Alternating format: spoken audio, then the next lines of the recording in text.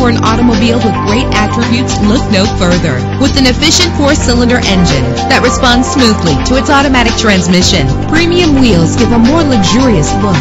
You will appreciate the safety feature of anti-lock brakes. Let the outside in with a built-in sunroof.